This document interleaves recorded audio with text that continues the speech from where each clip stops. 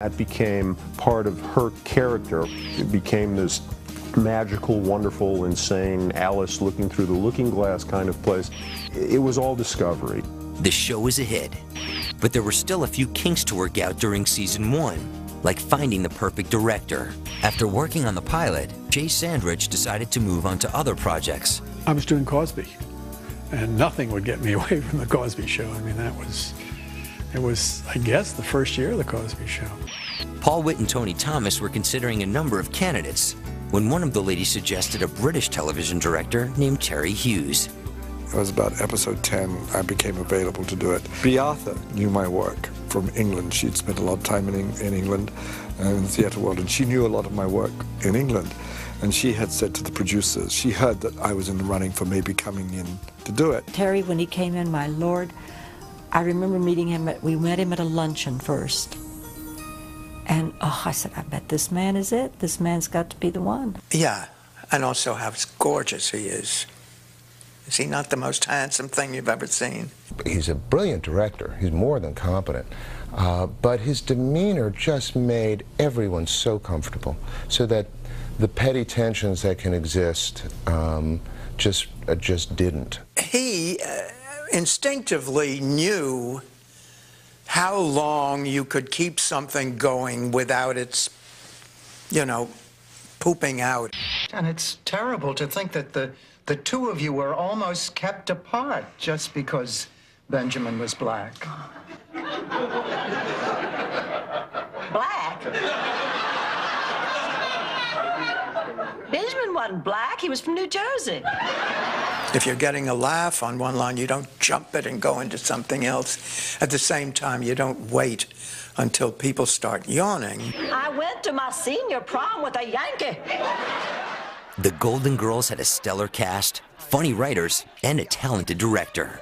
That combination could only lead to one thing awards. In the fall of 1986, the Golden Girls won an Emmy Award for Best Comedy Series, and Betty White took home her sixth statue.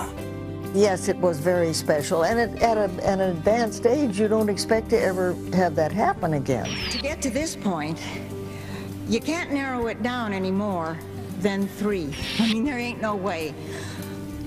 I am the lucky one who gets to come up and pick up this beautiful golden girl. But Estelle and Rue and Bea and I all thank you. We're a match set. You can't split us up. The writers were also rewarded. Barry Fanaro and Morton Nathan won an Emmy Award for their episode called A Little Romance. It was a strange show, and it was sort of, you know, uh, again had heart, and that was when Rose dates uh, a midget. And then the conflict that resulted from that worked out perfectly. But Dorothy, he's a little early, yes, but we're delighted to see him. That guy over there, is he a midget? Yes. Thank God, I thought I was having another stroke. I think Jonathan's going to ask me to marry him. When she feels that, you know, that their relationship will be prejudiced by other people, and in the end, he drops her. He said, of course, I cannot marry you because you are not Jewish. The ladies were great at reacting, and the absurdity of that situation just gave them marvelous, marvelous fodder. The Golden Girls weren't afraid of awkward situations. But in the next season, the girls were about to meet some interesting bedfellows. You rented a dirty movie? Dirty is in the eye of the beholder. The Golden Girls was just a year old in the fall of 1986. The sitcom with a fresh take on senior citizens was on the verge of edging out primetime veterans like Dynasty and Dallas in the ratings. The Golden Girls gave viewers a look at a different kind of television family. You idiot! If somebody told you to jump off a bridge, would you do it? I always get, well, my friends and I call ourselves the Golden Girls, and I always ask, which one are you? If she says Rose, then I know, well, she's not quite as swift as she could be. Fans identified with the Golden Girls, but the ladies behind the characters were much different from the parts they played. Betty is anything but Rose. I mean, that woman has the sharpest mind and uh, the quickest wit of anybody I ever met. So, I mean, that is that's pure acting to see her, the naive and the stuff flying over her head. One time we were doing a television show where we had to hang her from a harness. She was swinging about 30 feet above the stage. And we were doing take after take because we couldn't get it right. And someone took me aside and said, you should really bring Betty down for a while.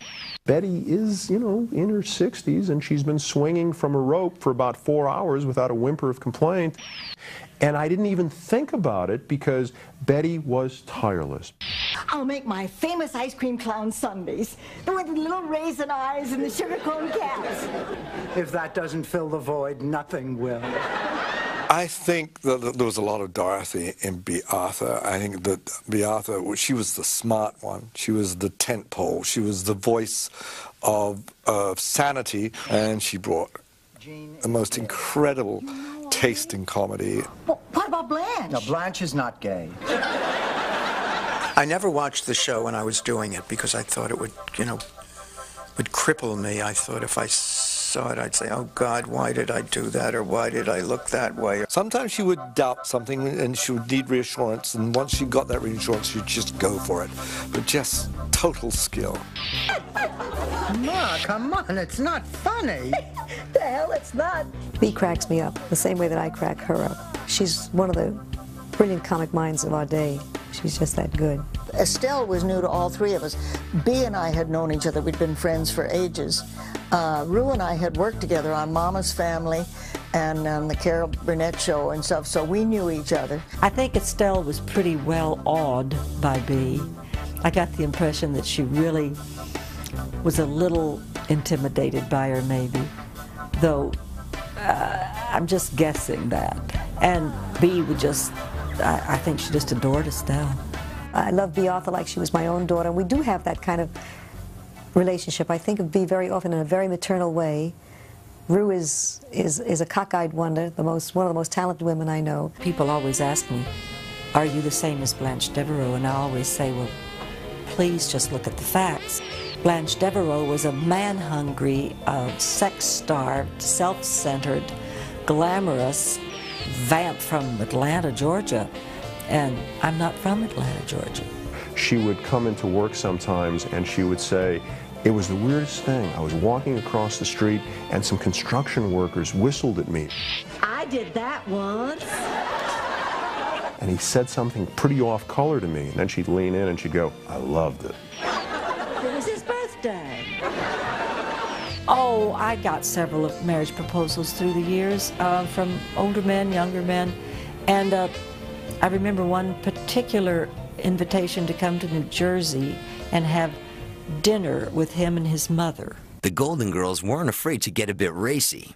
And in season two, the ladies didn't shy away from sensitive issues. In one episode, lesbians became the theme du jour. Jean is a nice person. She happens to like girls instead of guys. Some people like cats instead of dogs. Frankly, I'd rather live with a lesbian than a cat. That, I thought, was one of the funniest, one of the funniest opportunities for Blanche.